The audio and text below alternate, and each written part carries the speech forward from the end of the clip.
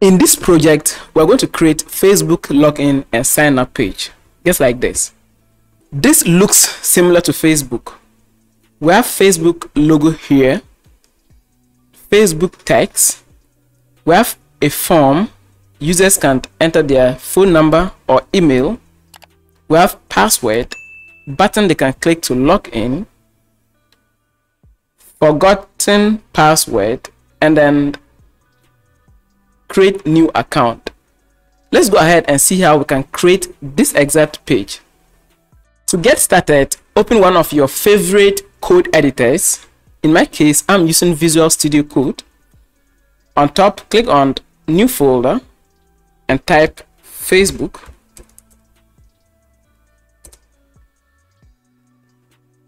We're going to create two files inside that folder. The first one will be sign up dot html the second one is css so we put style css we're going to create another folder subfolder inside this folder which is facebook. So i'll click on folder and then I'll put images. Inside images, we're going to put the logo for Facebook. You can go to Google and search for Facebook logo. I went ahead and downloaded logo for Facebook and then I've added it here. So technically, we have a big folder called Facebook and inside it, we have another subfolder which contains logo of Facebook. We have signup.html and we have style.css. Let's start creating our project. So enter M8, hit enter, and then our code will be written for us. Okay, this is a template, and then I'll put Facebook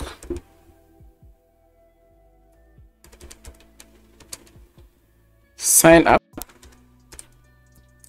and log in. And then we link to our css like this. And then we type style dot css here. Now let me take you to all right so we're going to create three divs. One is going to be a wrapper. Let me explain that. So with this project, we have three divs. One is a wrapper that wraps everything like this. We also have another wrapper containing what? The logo and the text and finally, we have the third wrapper containing the form. Right. So we're going to write code for three divs. Let's go back there and then we'll go to body and then I'll type div and then put the main wrapper. So main wrapper like this. Hit enter open it. So this is going to be the biggest container the overall container containing everything on the web page. And then we have another div.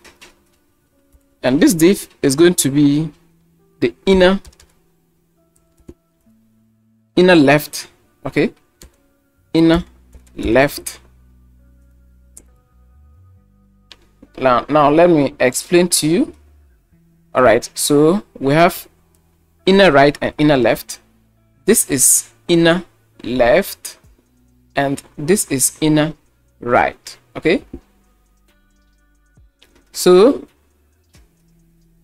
we have inner left and then we have inner right.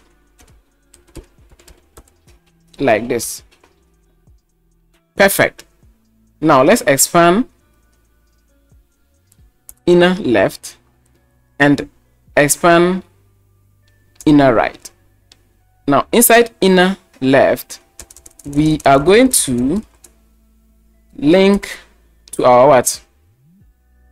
Our logo okay? Because inner left we have logo and then we have text. Let's add our image the logo okay so i'll put image img.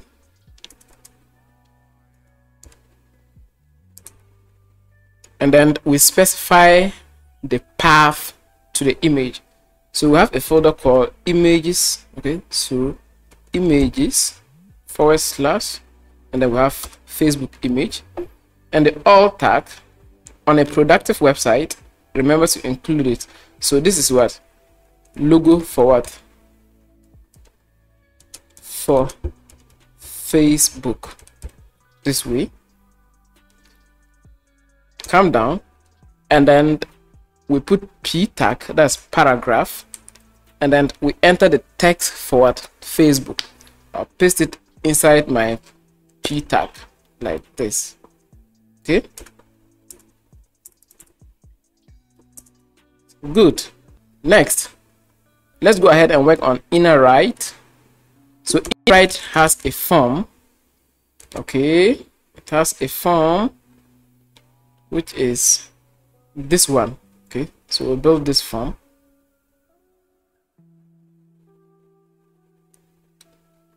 So to build your form you enter the tag form like this and then you open it up like this and the first thing we're going to put inside the form is an input field for email followed by password okay?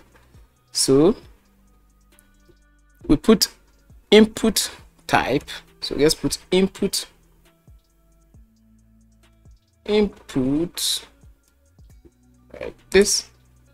And then the type we're going to put email there because the first one takes email and then placeholder the placeholder is let's go ahead and check enter address email address or phone number. So we'll put that one there. Email address or phone number. So email address or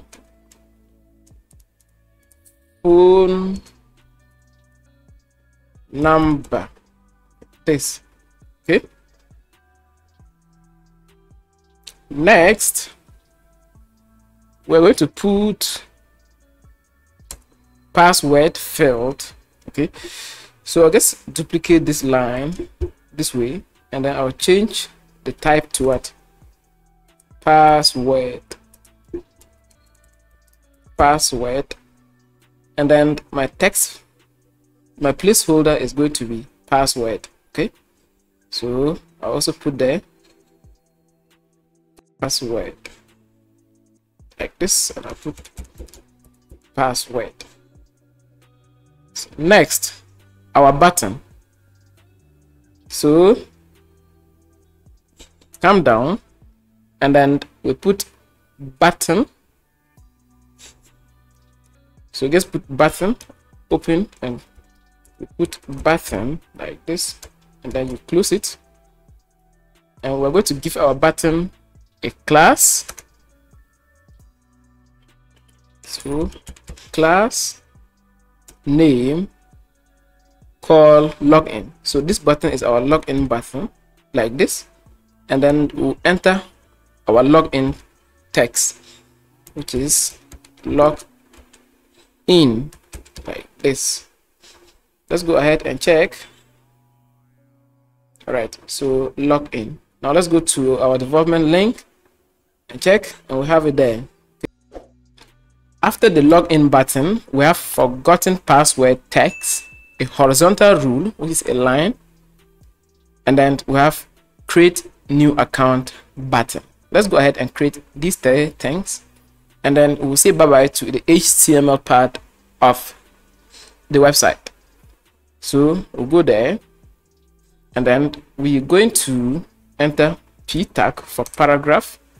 And then I'll put for gotten password. Like this. And then we'll create a horizontal rule which is hr for horizontal rule. After that we have another button. So button. And then i'm going to give it a class called create okay? And then inside here we're going to give our button a name. This is the visuals okay? So create new account like this. Now let's go to our web browser and check and here we have it. So guys we are done with the html part. Let's go to css and start styling our web page to look something like this all right let's start applying styling to our web page. So i'll go to style.css and first i need to target my body and then we're going to give our body a background color called alice blue okay? Alice blue. Because this background color is not white okay? This is white but this is alice blue. Now let's go and check and you can see our background color now has changed to what? Alice blue. Let's continue. So i'll simply come down like this. And then we're going to target our main wrapper main wrapper like this. And then we're going to display whatever content that is inside it as what? Flex. Okay flex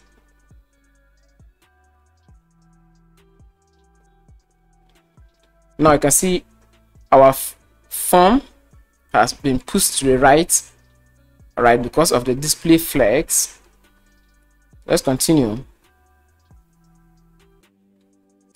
We come down and then we want to give or leave some space in between the display items okay the flex items. So put justify content and then we're going to put space around okay? Space around. You can see because of the space around there's space here there's space here and there's space here.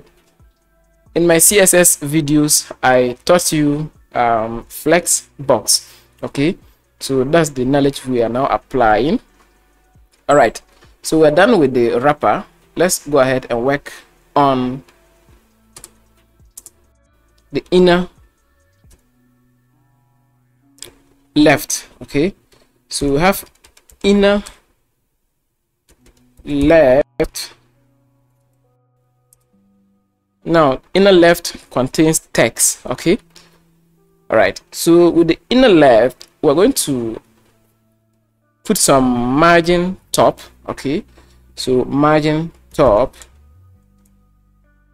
margin top and then we'll put something like 27 pixels so that our logo will be pushed our logo and our text will be pushed down okay? Then you can see it has been pushed down a little bit okay? So that's the uh main purpose of the what? Margin top.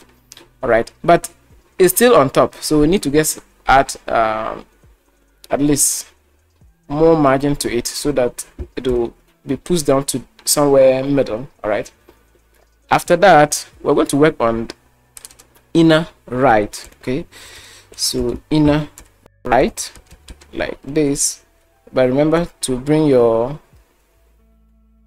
dot to make it a what?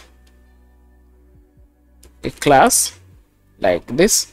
Then the and the inner right has background color. Let me show you. Right so we'll go back there.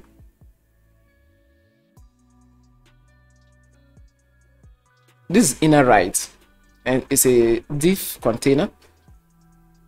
It has background color of what? White okay?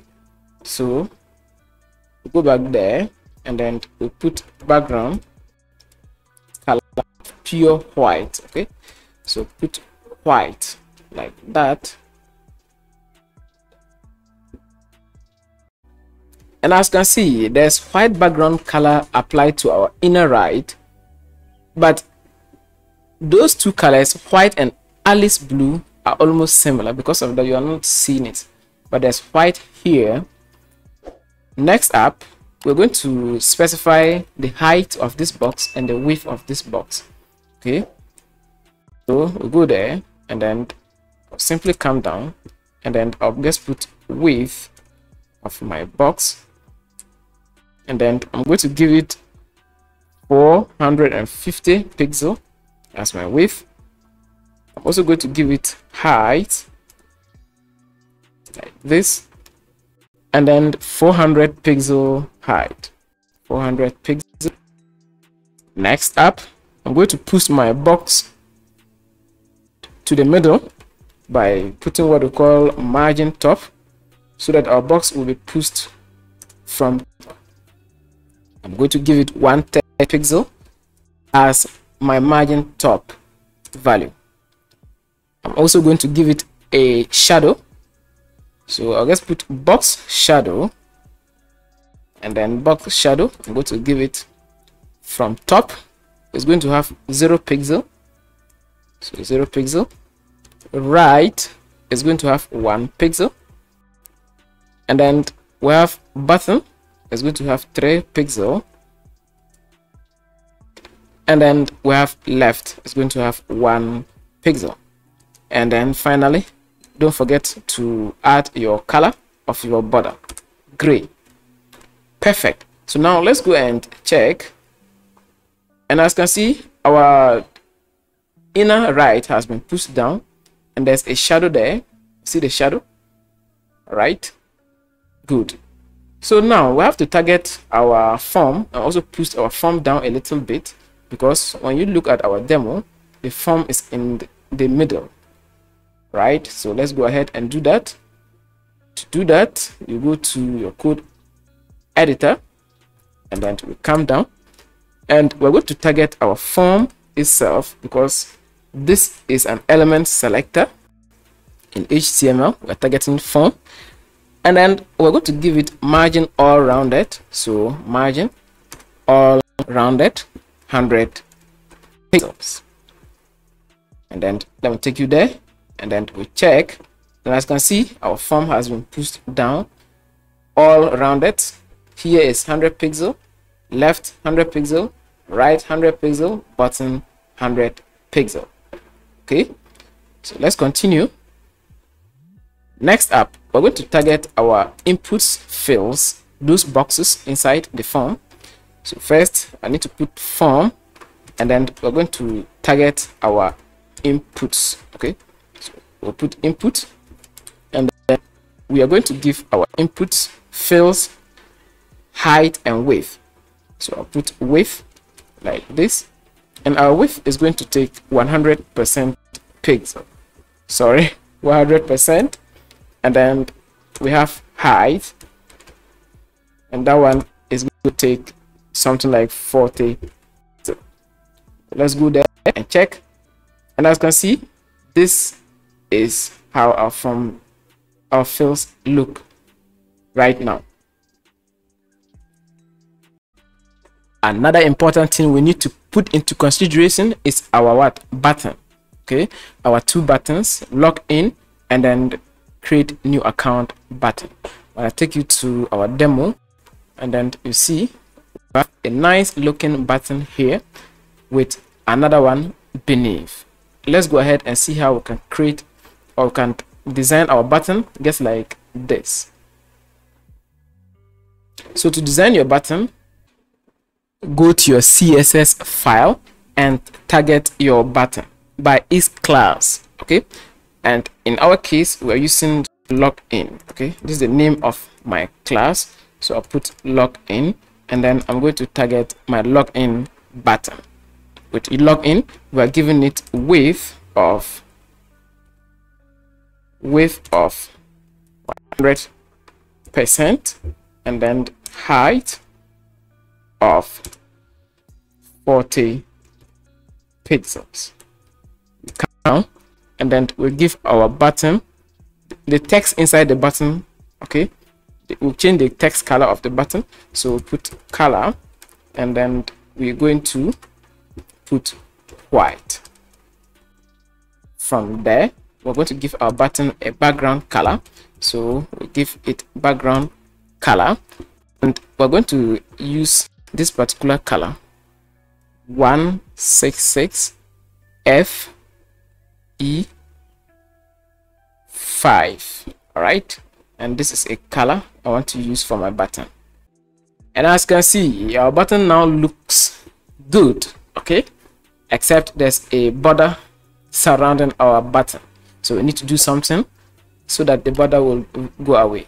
But before that we can also change the font width or yeah increase the font size of our text inside the button. So simply go back to our coding environment and then all we need to do is to come down like this and then we put font font size 25 pixel and we are going to remove our border. So we put border and you put none. Okay? Let's put none like this. And then go back there and check. And as you can see this is how our button looks right now. Okay? Next up let's go ahead and work on this particular text. Okay? So work on this text which is the paragraph paragraph. So all we need to do is to come down like this. We can also target it here. So i'll just put it here and we put form like this and then we're going to target the p tag inside the form right which is a paragraph and then i'm going to give it text align center. So text align center. I'm also going to give it color. So color is going to be this custom color. Now let's go and check. And as you can see our text has also what changed in what color right. So let's go ahead and work on the create button which is beneath here. So I'll simply take you back to my coding environment and then I'll scroll down and we have login and we have create. So I'll come down and put create. So I just put create because this is the name of my class. Create. And with this create I'm going to give it width okay. So width and also give it a height. So for the width let's give it 70 percent. Like this and then height we are giving it 40 pixels from there we'll be giving it background color. So it's going to be bg so that's background color we're going to use the rgb value in this part of the video okay?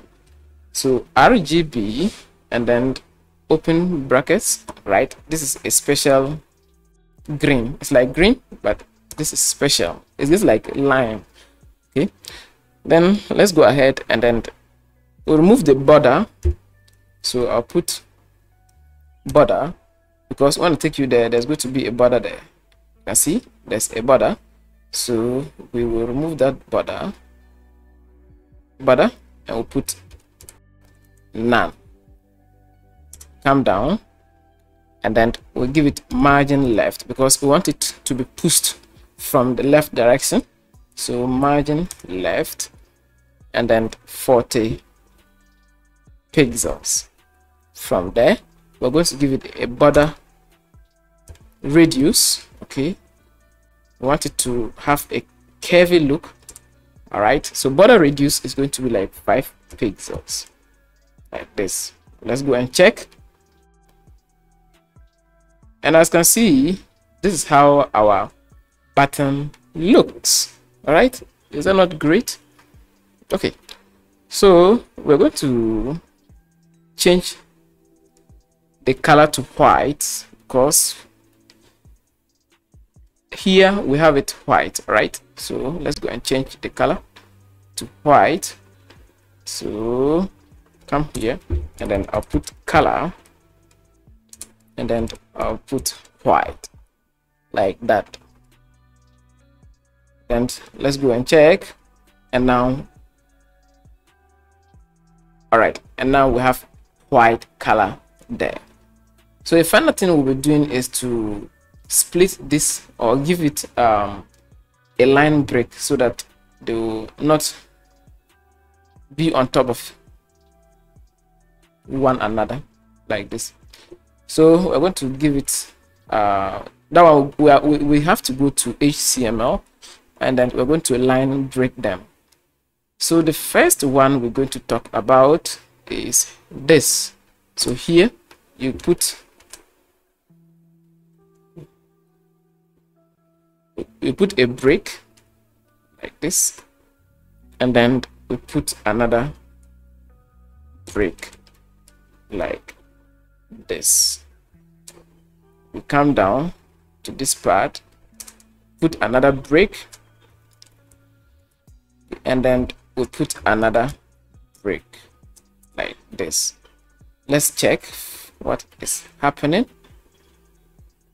And you can see there's space here there's space here. All right? One final thing we'll be doing is to increase the font size of our inner left paragraph which is here to something like this. All right? So let's go ahead and increase our font size. So i'll take you back to my coding environment and then we are going to css and then we'll be targeting inner left paragraph. Okay so you can come down here and then we target our what? Inner left and then we put p okay? So any paragraph inside that container is going to take this effect which is font size as 30 pixels. Let's go and check come here. And as you can see 30 pixels. But the problem is you see there's a break here. When you get to the share there's break so the words are uh, wrapping okay? So we need to wrap it with the help of a br tag and that is all. And we'll say bye bye to this video. So I'll come to my HTML and then go to where there's share here. And then I'll just put br tag there like this. And that is all. Right and then I'll go there.